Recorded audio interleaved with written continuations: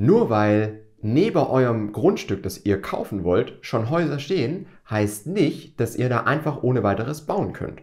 Und dass es günstig wird, das zu machen.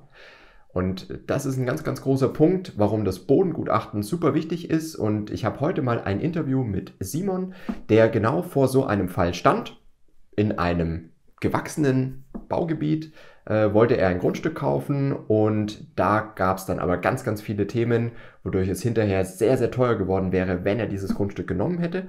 Und wir gehen jetzt in dieses Interview einfach sehr tief rein. Er erklärt es sehr, sehr gut, wie er auch durch, diese, durch diesen gesamten Prozess gegangen wurde, wie auch am Anfang alles erstmal so transparent und gut gewirkt hat und dann aber mit jedem Schritt, was er entdeckt hat, ein bisschen schwieriger wurde. Finde ich super, super spannend. Wenn ihr Fragen habt, schreibt gerne in die Kommentare. Ich wünsche euch viel Spaß beim Video.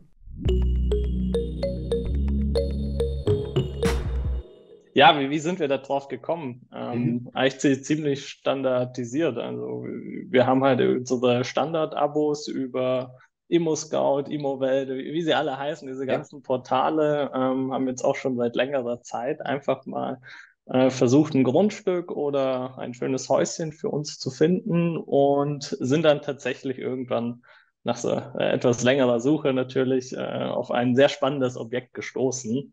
Ähm, wir suchen, by the way, auch im Raum Stuttgart, also war grundsätzlich immer sehr, sehr angespannt die ganze Situation ja. dort äh, für, für alle, die da generell aus der Gegend kommen. Ja, ja und so, so nach einer Zeit haben wir dann eben ja spannendes Objekt gefunden, war jetzt auch nichts Atemberaubendes, also 250 Quadratmeter Grundstück, ähm, äh, schön Wohngebiet, Raum Stuttgart, äh, direkt in der Nähe zu allen öffentlichen Verkehrspunkten, also eigentlich sehr wunderbar.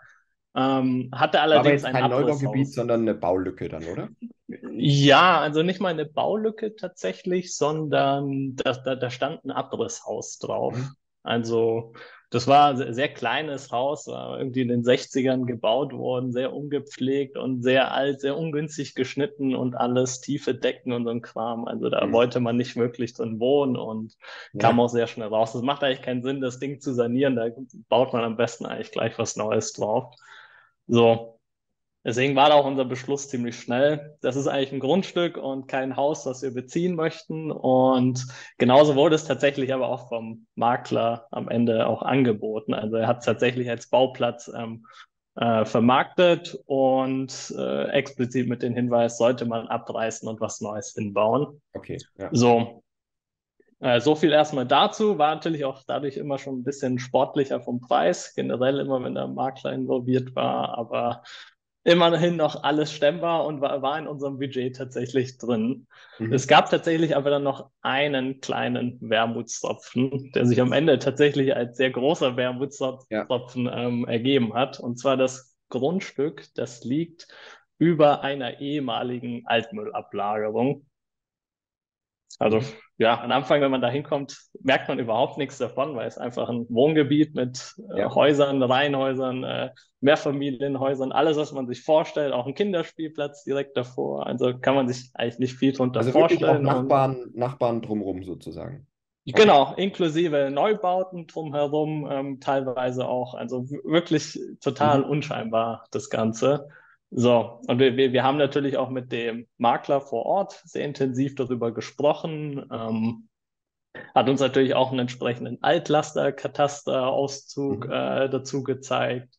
Und da war halt natürlich sehr klar deklariert, ähm, von 1935 bis 1949 äh, wurde die Fläche als Mülldeponie verwendet. Mhm. Also so gerade so die Kriegs- und Nachkriegszeit ähm, war das einfach, einfach eine Mülldeponie, die ja. einfach immer wieder mit Müll aufgefüllt wurde, Erde drüber und dann wieder Müll und so haben sich dann halt so mehrere Müllschichten dort gebildet.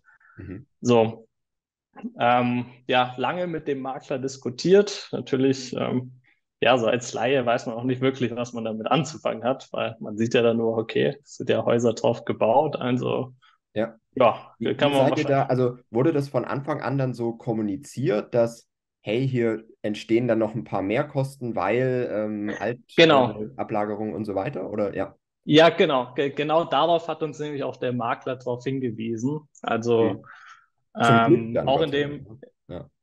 Ja, es ist, hinterher hätten wir uns da noch ein paar mehr Infos tatsächlich ja. gewünscht, ähm, weil der Makler, der hat uns das nämlich äh, auf die Art und Weise verkauft, dass es da eben tatsächlich auch schon ein Gutachten gab, mhm. ein Gutachten des Oberbodens, ähm, was äh, sehr, sehr ähnlich zu einem Bodengutachten aussieht tatsächlich. Und in dem Gutachten stand eben relativ salopp und einfach ausgedrückt äh, drin, ähm, wenn man da eben neu bauen möchte, wird empfohlen ähm, zur Sicherung der Gesundheit und keine Ahnung was, also eher so, so Banalitäten eigentlich, so klingt das eher. Ähm, dass man den Oberboden austauschen sollte. Also das heißt, dass man da 60 Zentimeter des Oberbodens austauschen soll und einfach mit neuer, frischer Erde ähm, drüber schütten sollte und danach ist es auch wieder relativ bedenkenlos. Ähm, mhm. Gleichzeitig weist dieses Gutachten natürlich dann auch aus, was denn tatsächlich in dem Boden drinsteckt und ja, da kam halt dann raus, ja, da stecken halt so Schwermetalle drin, mhm. irgendwie so Teer- und Aschereste. Ich glaube, das wird irgendwie Benzopyren, wird es mhm. fachbegrifflich genannt. Ich bin da tatsächlich auch nur ein Laie und habe ja. mich dann hinterher erst dazu eingelesen, was sich denn da alles dahinter verbirgt. Aber so zusammengefasst, ja, Schwermetalle, jeder weiß, okay, es sollte man jetzt nicht unbedingt äh, in den Mund nehmen, so etwas, und mhm. das ist nicht gerade so das Beste. Aber zusammengefasst, für uns war es immer noch ein lösbares Thema, wurde auch sehr verständlich tatsächlich an uns herangetragen, also mhm. 60 Zentimeter abtragen von allem, was nicht bebaut ist, mhm. tatsächlich. Mhm. Ähm, und da, dann kann man da bedenkenlos wieder aktiv werden. So, mhm. der, der Makler schien auch sehr vertrauenswürdig tatsächlich, weil seine Firma ist äh, auch noch mit einer Tochterfirma auch Bauträger und die mhm. haben direkt auf der Straße, in derselben Straße direkt gegenüber ein Mehrfamilienhaus hingesetzt. Also sicherlich nicht mal so, so 10, 10 Meter Luftlinie entfernt. So, so für, für uns war dann halt schon klar, okay, da scheint Erfahrung vorhanden zu sein, der weiß, wovon er da spricht und ja, klingt vertrauenswürdig einfach ja. insgesamt. So, gleichzeitig hat er uns natürlich auch gleich so, so eine Kostenvoranschlag gebracht von einem Unternehmer, der dann eben so Abtrag, Abriss und äh, so weiter entnehmen, äh, äh, nicht Abriss, sondern Entsorgung, also Entsorgung ist ein ganz wichtiger Punkt bei dem ja. Thema, äh, übernehmen würde.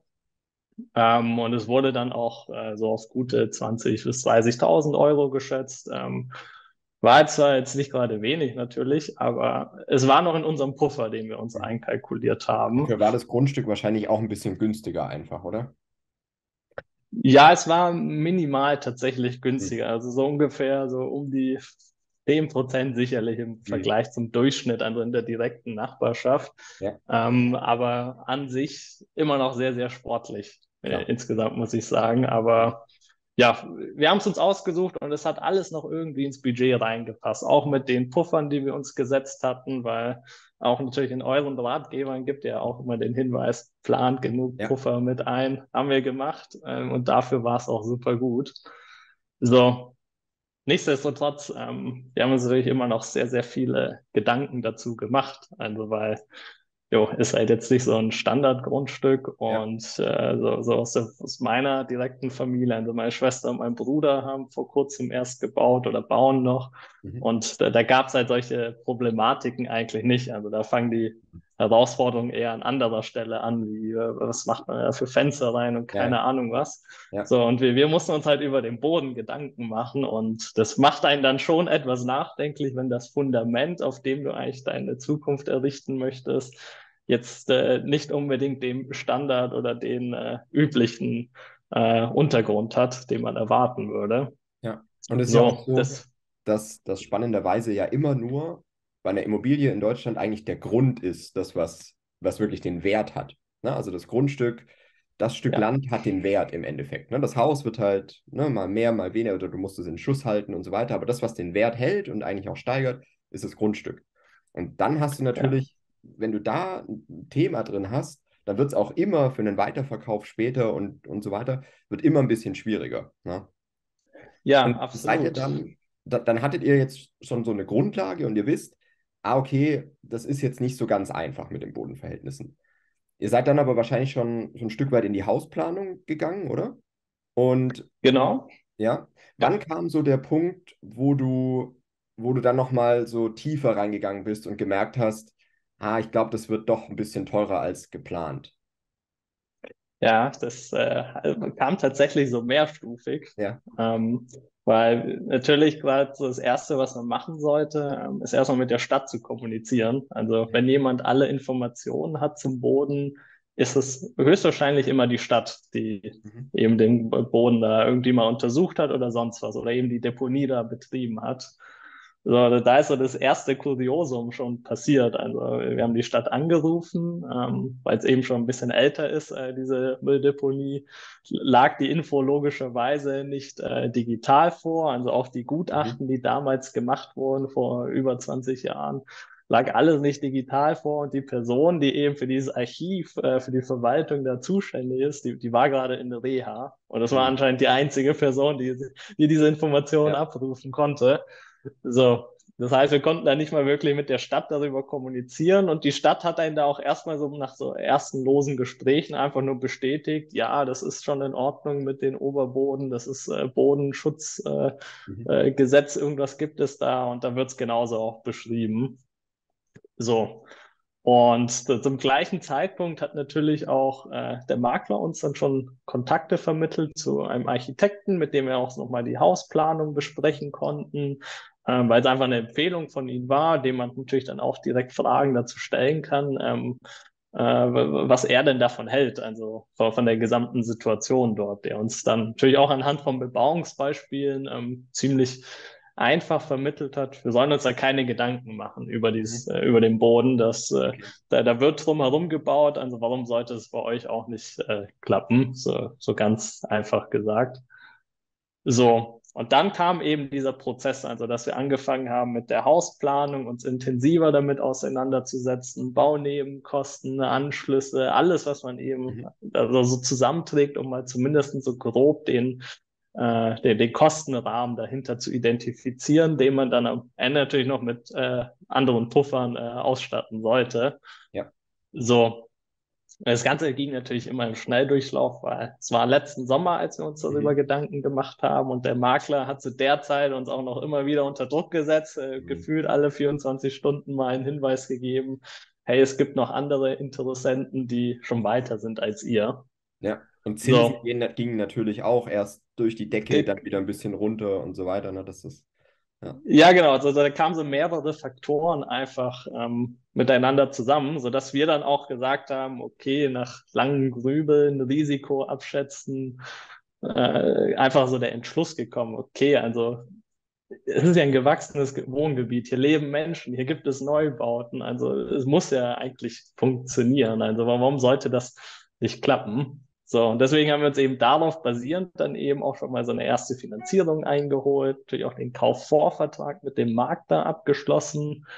Ähm, und dann ging eigentlich erst dieser ganze Spaß los, ab, ab dem es dann für uns wirklich äh, sehr, sehr stressig wurde. Also, weil das war auch der Moment, als der Makler uns also direkt nach dem Kaufvorvertrag schon so einen seiner reservierten Notartermine in die Hand äh, drücken wollte, der so gefühlt so ein Tag direkt danach mhm. war, also dass man nicht mal zwei Wochen drüber schauen konnte, äh, was wir natürlich schon erstmal verschoben haben, weil ja, mhm. wir machen das zum ersten Mal, wir sind keine Eigentümer und wir wussten da auch noch nicht so ganz, was da jetzt auf uns zukommt. So, also Termin auf äh, in zwei Wochen gelegt und in der Zeit haben wir uns eben nochmal explizit Gedanken gemacht über den Kaufvertrag, also den Notarvertrag, den eigentlichen. Und da ging es dann eigentlich los, weil das war dann so der Moment, wo wir gesehen haben, hier ist ein sehr spannender Passus eigentlich drin in diesem Notarvertrag, der ja im Grunde genommen davon handelt, dass jegliche Haftungen für mögliche Beeinträchtigung durch die Bodenbelastung ja. äh, vom Verkäufer ausgeschlossen sind, genauso auch keine Gewährleistung ähm, übernommen werden kann, keine Mehraufwände oder so ihnen in Rechnung gestellt werden können. Also so zusammengefasst, uns wurde einfach vermittelt mit einem sehr, sehr langen Passus im Notarvertrag in sehr, sehr expliziten Juristendeutsch, ähm, dass das Grundstück doch eine gewisse Überraschung beinhalten könnte, die sehr unangenehm werden könnte. Ja. Ja. So, und das ist der Moment, wo dann auch wirklich so die Alarmglocken losgehen. Also wenn man wirklich so viel Geld in die Hand nimmt und dann etwas erwerben möchte, das äh, vielleicht doch nicht so ganz sauber ist, wie man es sich äh, vorstellt. Und das ist so der Moment, wo auch der Makler dir dann nicht mehr zur Seite steht, weil er dann mhm. dir eher noch vermittelt, ja, das ist halt Standard, weil es ist halt kein normales Grundstück, aber wir brauchen uns da keine Gedanken zu machen. So, und dann kriegt man auch auf direktere Nachfragen auf einmal keine Rückmeldung mehr, obwohl man ja doch vorher ziemlich intensiv im Austausch war. Mhm. Und dann haben wir halt selbst das Zepter in die Hand genommen und ja, dann erstmal wieder den Weg zur Stadt gegangen mhm. um eben dort nochmal wirklich sehr, sehr penetrant vor allem ähm, darauf zu bestehen, dass uns mal mehr Informationen bereitgestellt werden sollten zu dem Grundstück. Wir da sogar tatsächlich irgendwann mal bis zum Leiter vom Baurechtsamt durchgestellt wurden, der uns dann wirklich einzeln die Gutachten rausgeholt hat aus diesem Archiv. Und äh, da kam das dann halt raus, also oder noch einen Schritt zurück, parallel dazu. Ähm, haben wir noch mit einem, ja, einen entfernteren Nachbarn gesprochen, der dort auch gerade baut, aber halt eher so 100 Meter Luftlinie entfernt und haben einfach mal persönlich mit ihm das Gespräch gesucht. Also ja, ob er da irgendwelche ja.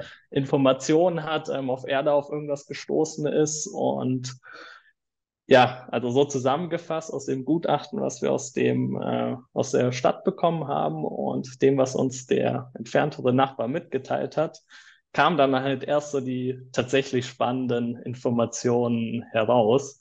Also im Grunde genommen kam da einfach raus, dass äh, ja, dass man sich mit dem Grundstück genau über den unmittelbaren Mittelpunkt von so einer Müllablagerung befindet. Ähm, dieses Grundstück ist komplett durch, durchseucht mit Schwermetallen, ähm, irgendwelchen Bleiresten, Arsen und so etwas. Und je tiefer mhm. man geht, desto schlimmer wird es tatsächlich. Und ähm, ja, am Ende hat uns auch der Nachbar da auch nochmal Bilder gezeigt von dem, was er dort entdeckt hatte. Da waren es tatsächlich auch so. Oder auch? Ja, ja, von, von seinem Grundstück erstmal. Ja. Und äh, da, da, waren dann tatsächlich auch so komplett schwarze Schichten. Ähm, das musste alles als Sondermüll entsorgt werden bei der Deponie. Und das waren dann so die Punkte, wo man eben rausgefunden hat, okay, das äh, klingt jetzt irgendwie nicht mehr so nach einfach nur mal so 60 Zentimeter Abtragen mhm. von der unbebauten Wohnfläche, sondern im Gegenteil. Wir haben dann nämlich auch mit dem Geologen Kontakt aufgenommen, der 1996 das Gutachten gemacht hat, okay. direkt auf dem Grundstück, ähm, welches wir erwerben wollten. Und dieser hat uns mitgeteilt, auf, auf jeden Fall die Finger davon weglassen. Das ist ein sehr, sehr, sehr, sehr gefährliches Grundstück. Okay. Ähm, man muss da zusammengefasst ähm, 10 Meter tief alles ausgraben, um da ein Gründungsniveau zu erreichen, also inklusive der bebauten Flächen. Ähm, es besteht Gefahr über Deponiegase, also wenn da einfach mhm. Müll über längere Zeit steht, dann bilden sich einfach so Gasblasen, die, naja, ist nicht so wahrscheinlich, aber kann halt irgendwas passieren, die dann halt zu Absenkungen und keine Ahnung was führen können. Man muss sich Gedanken machen. auch drin, ne? dass das irgendwie. Ja, genau. ja. Genau, also das, das, war dann wirklich ein echtes geologisches Gutachten, was so eigentlich das Entscheidende ist, was wir dann gelernt haben. Also es gibt zwei verschiedene Gutachten. Also einmal ein chemisches Gutachten, was einfach nur die Beschaffenheit des Bodens, ähm, also mit den Stoffen tatsächlich wiedergibt, was aber nichts äh, aussagt über die Bebaubarkeit dieses äh, Grundstücks oder zumindest in der Art und Weise, wie es bebaut werden kann.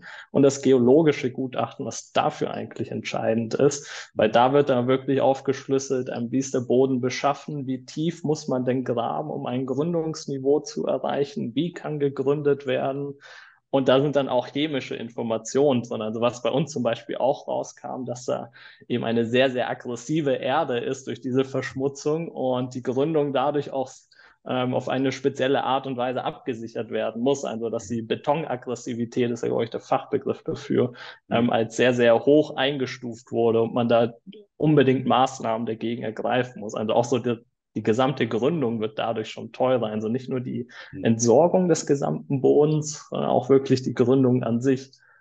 So.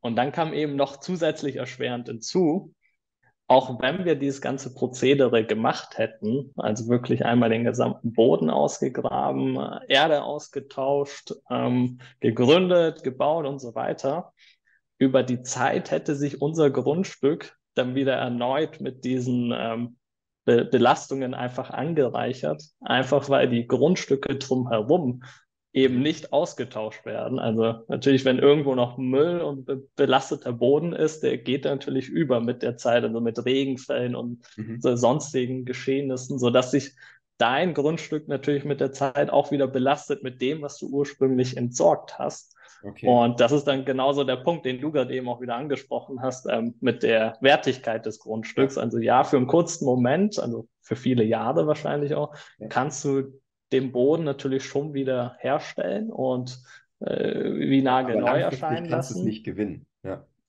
Genau, aber langfristig sind halt deine Nachbarn halt auch mit dazu beitragen, dass sich mhm. dein Grundstück wieder belastet mit der Zeit. So. Und äh, das weißt du haben von den Nachbarn, ob die da auch zehn Meter tief abgegraben haben oder? Ja, Okay. Ja, genau. Also die, die haben uns tatsächlich dann auch ähm, in ihr Bodengutachten mal reinsehen lassen. Mhm.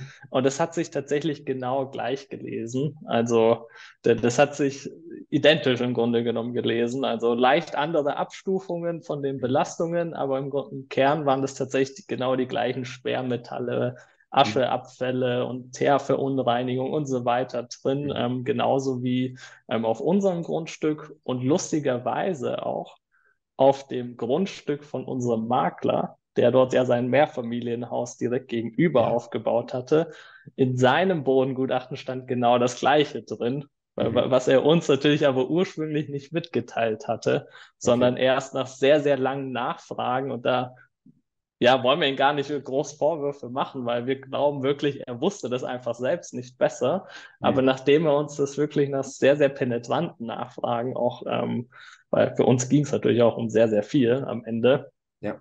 Ähm, uns das mitgeteilt hatte, was denn auf seinem Grundstück da, also von seiner Firma da alles gefunden wurde, ähm, hat er uns tatsächlich einfach so sein Blanko äh, Gutachten mehr oder weniger in die Hand gedrückt. Wir konnten selbst nachsehen und da standen eben genau die gleichen Dinge mhm. drin. Also zehn Meter tief, ähm, dann kommt man erst auf eine stabile Schicht. Dazwischen ja. ist alles ähm, belasteter Boden ähm, wird alles als Sondermüll deklariert, ähm, der gesamte Boden. Das heißt, wenn man das in der Deponie entsorgen muss, ähm, gibt es auch verschiedene Abstufungen von der Erde. Also es gibt natürlich wiederverwertbare Erde, die ist günstiger in der Entsorgung und es gibt die absolut nicht wiederverwendbare Erde. Das ist wirklich die Deponieklasse 1 und 2 heißt es, glaube ich, und Sondermüll gibt es da.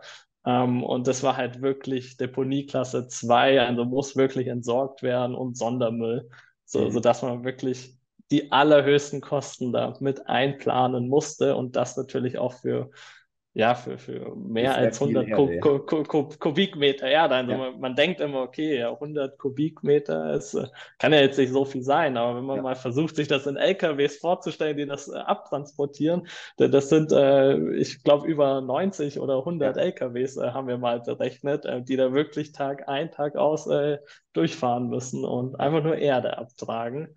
Ja, ist krass, ne? Also das klingt eher nicht nach 20.000 oder 30.000 Euro Mehrkosten, sondern nach über 100.000. ja, genau. Ja. Das war dann auch wirklich äh, der Punkt, wo die Sache dann für uns auch sehr, sehr schnell ähm, gegessen wurde. Also mhm. wir hatten ja einen Unternehmer, der uns ja auch schon vorher empfohlen wurde, der uns mal eine Berechnung gegeben hat, wie viel es dann pro Tonne kosten würde, so mhm. ungefähr. Und haben wir jetzt das einfach hochgerechnet und äh, da kam dann halt raus, dass es äh, 150.000 äh, Euro sind, die man da mindestens mehr einplanen müsste. Also wirklich mindestens, wenn nicht sogar mehr durch Damals ging es ja erst los mit der Inflation und Preissteigerung, was sich äh, jetzt heute ja auch schon sehr stark auswirkt auf die Deponien. Also wahrscheinlich hätte man heute erst angefangen mit den ganzen äh, Arbeiten und dann wäre es wahrscheinlich nochmal bestimmt 10 Prozent, 20 Prozent teurer gewesen, das Ganze. Ja. Und das war dann eben der Punkt, wo wir eben den Makler damit konfrontiert haben. Also, dass es irgendwie nicht so, so ganz anhört wie das, was er uns ursprünglich verkaufen wollte. Ja. Und ja, also das ist, ist, so nicht funktioniert. Also dafür ja. ist der Preis einfach unangemessen hoch und gleichzeitig das Risiko, was da einfach ähm, da mitschwingt, äh, da zu bauen und auch der Wertverlust, der damit einhergehen kann mit der Zeit, ja. ist einfach kaum bemessenbar. Also vor allem auch gesundheitliche Beeinträchtigung dahinter. Also Äh, auch das war etwas, was uns die Geologen sehr eindringlich tatsächlich geraten haben. Ähm, ja. Ich man sollte mit, ja. Das war wirklich dein absolut smarter Move. Nicht auf, also es gibt ja immer verschiedene Möglichkeiten, wo du dir Informationen holen kannst. Na, und klar, dann hast du den Makler, aber hm, der hat vielleicht das Interesse, dir das schon schmackhaft zu machen. Ne? Vielleicht sogar noch ein Erdbauunternehmen, weil das will ja den Auftrag eigentlich auch haben, in der Theorie. Ne? Ja. Aber sowas wie ein Geologe, der halt einfach nur ein Bodengutachten macht, oder die Stadt oder wer auch immer, die sind ja wirklich neutral. Denen ist es ja egal, ob du das Grundstück kaufst oder nicht und dann da baust. Ne? Deswegen ja.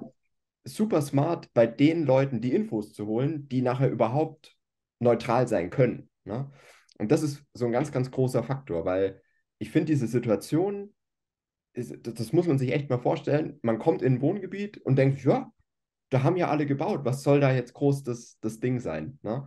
Aber dass dann so große Mehrkosten damit einhergehen können oder ja. dass man vielleicht auch denken kann, hey, die Leute haben vielleicht da einfach gebaut, aber denen war es egal, ob das so ist oder nicht. Ne? Und vielleicht hat man vor 30, 40 Jahren da auch noch anders drüber nachgedacht.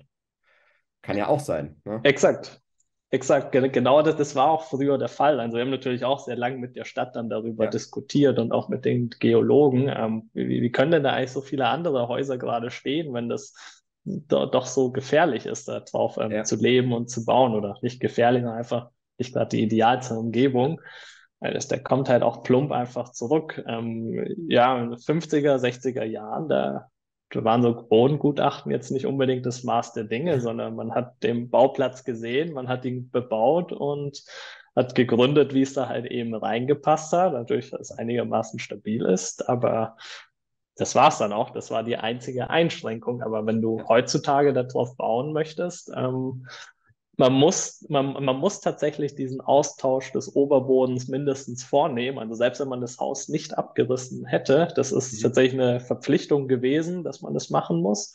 Mhm. Ähm, und natürlich, wenn du es komplett neu bebaust, da kommst du gar nicht drum herum, weil kein Unternehmer wird die Haftung übernehmen, auf unstabilen äh, Grund zu bauen. Ja. Also und äh, ich glaube, ich glaube, das möchte eigentlich kein Bauherr machen, auf instabilen ja. Grund äh, etwas aufbauen. Ja. Aber es ist verrückt, ne? wie das manchmal, wie man manchmal von einer offensichtlichen Lage Absolut. und denkt, oh, okay, Situation ist relativ klar, ich werde ein paar mehr Kosten haben, weil da war halt mal was. Aber je tiefer man da wirklich dann reingeht, im wahrsten Sinne des Wortes, ne, desto schlimmer wird es dann und desto teurer wird es. Und dann ist es halt irgendwann auch kein, keine, keine Situation mehr, die man machen kann. Ja, absolut. Also da muss man auch wirklich aufpassen. Also weil ja. das sind wirklich Faktoren, die können einen in die Privatinsolvenz reinbringen. Also wenn ja. man wenn man vorher nur mit 20.000 als Puffer geplant hat und auf einmal daraus 150, 170.000 wären, ja. das ist leider etwas auf einer Baustelle vor allem, die man nicht einfach so mal zurückdrehen kann wahrscheinlich. Ähm, ja. Nicht ganz so einfach zu handeln und das bringt einen wahrscheinlich in sehr ernste finanzielle Herausforderungen. Ja. Ja, deswegen, also super smart, da wirklich die Leute zu fragen, die gar kein Interesse daran haben, ob du das jetzt kaufst oder nicht auch immer gut, wirklich den Geologen zu fragen, der das vor 30 Jahren sich angeschaut ja. hat. Also das, das hat dich wirklich gerettet dann am Ende, ne? Ja, und vor allem auch wirklich da ein bisschen Geld zu investieren dafür im ja. Zweifel. Also, weil ich meine, gut, wenn man da jetzt mal 1000 Euro für eine vernünftige Auskunft insgesamt ausgibt, ja. das ist in dem Moment zwar etwas schmerzhaft, aber hinterher, wenn man dadurch gut schlafen kann und auch wirklich eine belastbare Auskunft hat, die einen vor schlimmen Fehlern bewahrt, ist das Gold wert tatsächlich. Ja. Und das, das würde ich tatsächlich wieder so machen, auch wenn ich heute sehr großen Abstand von solchen Grundstücken nehmen würde, wo die Sachlage sehr unklar ist und nicht alle Fakten auf den Tisch nehmen. Also ja. da würde ich auch jedem empfehlen, sich da unter keinen Umständen von jemandem unter Druck setzen zu lassen, weil das ist auch so ein großes Learning, was wir hatten. Also mhm die, die einzige, das, das einzige Mittel, was zum Beispiel ein Makler hat, ist einfach Intransparenz. Also, ja. um, um damit äh, Druck auszuüben. Und da darf man sich halt wirklich so einfaches gesagt, dass wir haben es selbst nicht befolgt damals, ähm, sich nicht unter Druck setzen lassen. Aber genauso auch bei den öffentlichen Einrichtungen. Also mhm. ja, auch wenn jemand in Reha ist, also irgendjemand muss auf diese Informationen zugreifen können. Ja. Das sind die, die sind verpflichtet, die, die Damen und Herren dort ähm, da Auskünfte zu geben und sie geben sie auch tatsächlich sehr äh, sehr, sehr gerne aus. Ähm, sie sind tatsächlich einfach selbst immer sehr unter ja. sehr hohe Arbeitsbelastung. Also darf man sie auch nicht zu sehr unter Druck setzen, aber wenn man ein ja. bisschen auf sie einwirkt, ihnen die Lage schildert, dann kriegt man, also wir hatten zumindest jetzt immer das Glück, dass wir da immer eine sehr positive Rückmeldung bekommen haben. Genauso aber auch von Geologen. Also mhm. ja, man hat nichts mit ihnen zu tun, ähm, aber man findet sicherlich immer eine Lösung, sei es jetzt auch nur ihre Arbeitszeit äh, zu bezahlen, um eben dieses Gutachten für einen nochmal verständlich auszuwerten, weil auch so ein Gutachten an sich ist doch sehr schwer zu lesen als Laie. Ja. Aber wenn es ein, ein Experte erklären kann, dann sind es die besten Euros, die man investieren konnte für so etwas. Ja, absolut. Und ich finde es auch an der Art, wie du es jetzt erzählt hast, fand ich, hat man auch sehr, sehr gut gesehen, dass am Anfang fühlt es sich ja auch gar nicht nach Druck an. Jetzt von so diese Makler oder diese Kaufsituation, ich will es jetzt gar nicht irgendwie auf den Makler schieben, wobei der jetzt schon eine tragende Rolle da spielt, aber am Anfang wirkt es ja auch transparent, weil der ja gleich sagt, ja, guck mal, hier war mal so eine Ablagerung und da musst du wirklich mit Mehrkosten rechnen. Und dann ist für die meisten ja schon, ja, okay, das, da wurde ich ja jetzt aufgeklärt. Ne? Aber dass da noch ja. viel mehr dann dahinter ist, das ist das, wo man dann wirklich gut sein muss. Oder wo man halt wirklich, weiß ich nicht, da, na, das ist der sechste Sinn dann, ja. ist, äh, dass man da dann doch nochmal weiter forscht. Ja, absolut. Und ja, es gibt so viele Themen, ihr erklärt das ja auch immer ziemlich gut, ähm, um die man sich gleichzeitig Gedanken machen muss. Mhm. Man kann es einfach nicht. Also am Ende ist es, glaube ich, wirklich immer ein positiver Aspekt, wenn man sich die Freiheit rausnimmt, da einen Experten mit dazu zu ziehen, der einen zumindest mal auf die Fallstricke aufmerksam machen kann. Also das ist, glaube ich, definitiv Gold wert, zumindest mal High Level auf einer eher abstrakteren Ebene da Bescheid zu wissen, worüber man sich nochmal vielleicht zweimal Gedanken machen sollte, ähm, um genau solche Momente zu vermeiden. Weil für uns war das tatsächlich auch ein Erlebnis, was sich dann ja, über einen Monat gezogen hat, aber dann halt so in den letzten äh, zwei, drei Wochen extrem intensiv wurde, weil man muss sich natürlich über viele Gedanken, Sachen Gedanken machen. Also, was heißt denn das jetzt Belastungen im Boden? Was heißt es mit Wasserschutzverordnungen? Ja. Weil im Raum Stuttgart ist alles gefühlt ein Wasserschutzgebiet. Ähm, ja. Das hat natürlich da immer eine Auswirkung. Am Ende haben wir herausgefunden, okay, man darf dort einfach nur keine Massentierhaltung betreiben, ist für ja. uns unwichtig. Aber genau solche Aspekte, das sind die entscheidenden, ähm, wo man wirklich gar nicht zu viel Information haben kann. Und bevor man da wirklich selbst wie verrückt ähm, sich auf die Suche macht und sich dann irgendwie auf Massentierhaltung äh, ja. konzentriert am Ende, ähm, macht es doch Sinn, vielleicht einfach seine eigene Zeit als wertvoller einzuschätzen ja. und jemanden, der sich damit auskennt, zu befragen. Ja, nee, finde ich absolut. Deswegen, ähm, also vielen Dank, dass du auf jeden Fall diese Story mal geschildert hast, weil ich glaube, wenn man das einmal gehört hat, dann ist man dafür viel mehr schon mal sensibilisiert und kann halt selber ja. auf diese kleinen Dinge in einem Bodengutachten oder bei einer Kaufverhandlung oder im Notarvertrag ähm, wirklich schauen ne? und dann halt über dieses erste transparent wirken äh, drüber hinausgehen und wirklich mal genauer schauen, was das eigentlich bedeutet. Ähm, weißt du zum Abschluss noch, ob das äh, Grundstück mittlerweile verkauft ist? Ja, wir wissen erst, dass es verkauft ist, okay. allerdings äh, nicht als Bauplatz, sondern als äh, ja, als sanierungsbedürftiges Haus. Ah, okay. Ja. Okay, weil da dann einfach egal ist erstmal wahrscheinlich, ne? Oder so wurde es erstmal. Ja, genau. Also wurde natürlich darauf hingewiesen, ja, natürlich auch das Exposé wieder entdeckt, ähm, ja. aber wurde darauf hingewiesen, dass einfach nur als sanierungsbedürftiges Haus äh, verkauft wurde. Ähm, mit dem Hinweis, dass dort halt eine Altlastablagerung äh, ist und ja, das, das war es dann auch. Und ja, haben wir sogar tatsächlich einmal gesehen, dass es jetzt äh, auch saniert wird, das Haus. Aber auch okay. das tatsächlich würde ich nicht machen, weil äh, wenn dir ein Geologe sagt, dass man zum Beispiel da nicht die Tomaten essen kann von den Sträuchern, die dort wachsen, dann äh, auf dem Boden, dann ja, es macht Ja. für mich irgendwie keinen Sinn, wenn ich drüber nachdenken muss, äh, was zum Beispiel meine Kinder auf dem Grundstück äh, Ja. machen, wenn sie da mal ein Stück Erde in den Mund kriegen, ob das so eine gute Idee ist. Da Ja. fühle ich mich eher eingeschränkt, als dass ich an so einem Ort leben möchte. Ja, ja, wie es auch in dem Bodengutachten drin stand, du hast mir da Auszüge geschickt, ne, dass irgendwie eine, eine Versickerungsprobe oder so konnte nicht gemacht werden, weil das darf man da nicht und so weiter, ne? Also so schwierige, schwierige Sachen Ja. auch wenn man da keine, kein Wasser versickern lassen darf. Ne? Das ist, ja, Äh, Ja, also da, da, da überlegt man nicht zweimal, jetzt hinterher auch. ja. Ja, ist echt verrückt. Aber dann seid ihr da auf jeden Fall nochmal gut rausgekommen, auf jeden Fall. Indem ihr wirklich weitergeschaut habt, als erstmal diese offensichtliche Transparenz zu glauben. Ne? Und deswegen, ähm, also vielen, vielen Dank, dass du deine Story da geteilt hast, deine Erfahrung. Das hilft, glaube ich, wirklich Ja. weiter, sich da wirklich ein bisschen selber mehr Gedanken zu machen, was das denn eigentlich heißt, wenn da ein Grundstück mit so einer Altlast vorliegt. Ne? Das ist wirklich wichtig, ja. Ja, sehr gerne. Also jeden, den ich damit Stress ersparen kann, wirklich äh, gern geschehen. Also ich würde es nicht nochmal durchmachen wollen. Das glaube ich, ja. Super, danke dir, ne? Ja, kein, kein Problem, gerne.